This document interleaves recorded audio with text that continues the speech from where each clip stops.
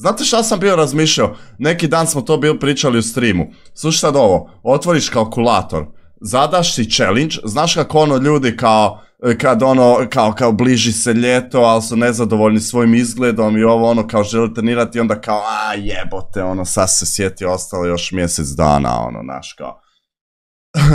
Skonto sam, slušaj ovo sad, zamisli da napraviš 100 sklekova svaki dan. 100 sklekova svaki dan puta 30.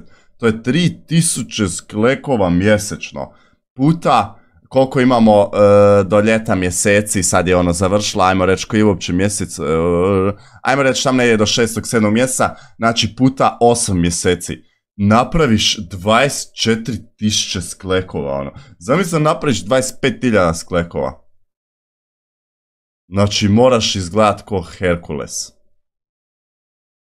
Kužiš? Znači, zamisli to, evo. Znači, zadajte si challenge. Ovaj, zamisli, evo, tipa, ja mogu napraviti 40 komadu, ono, koji sp... Sorry. Ajmo ovako, zamisli, odradiš 40, 5 sati kasnije 40, i opet ajem 40, nek bude 120.